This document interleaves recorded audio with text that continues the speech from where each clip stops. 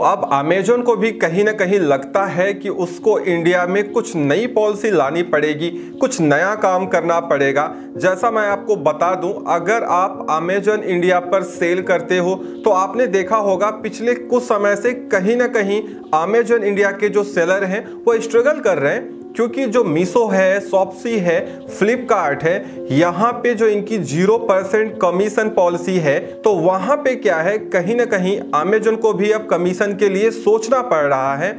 इसीलिए दोस्तों अमेजोन ने सारे सेलर्स को एक गुड न्यूज़ दी है और जो इनका two percent selling commission mega offer था, उसको उन्होंने एक्सटेंड कर दिया है।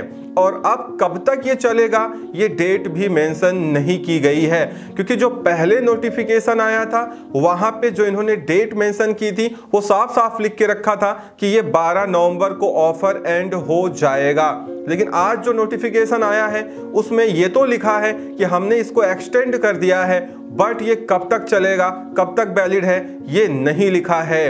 इसका मतलब कहीं ना कहीं एक सिग्नल है। आप समझ जाइए कि अब ये बहुत दिन तक चलने वाला है। क्योंकि देखिए अमेजन में एक चीज़ तो आप सबको मालूम होनी चाहिए कि अमेजन कहीं ना कहीं फ्लिपकार्ट से बहुत ज़्यादा कंपटीशन करता है। और फ्लिपकार्ट अगर कोई नई पॉलिसी लेके आता है तो कहीं ना कहीं अमेजन भी उसी तरीके की पॉलिसी अपने सेलर्स के लिए लेके आता है चूँकि फ्लिपकार्ट ऑलरेडी ये प्लान रन कर रहा है। तो कहीं ना कहीं अमेजन को भी ये प्लान रन करना पड़ेगा। और आगे चल के मे भी आपको और अच्छे प्लान देखने को मिले अपने कमीशन में, और हो सकता है अमेजोन फ्लिपकार्ट अपने कमीशन को कंप्लीटली रिवाइज कर ले, क्योंकि अभी ये जो दो परसेंट का प्लान चल रहा है, इसमें बहुत सारी टर्म्स एंड कंडीशन मेंशन की गई हैं। अगर आप वहाँ पे फुलफिल कर रहे हैं, तभी आपको दो परसेंट कमीशन पे रखा जाएगा।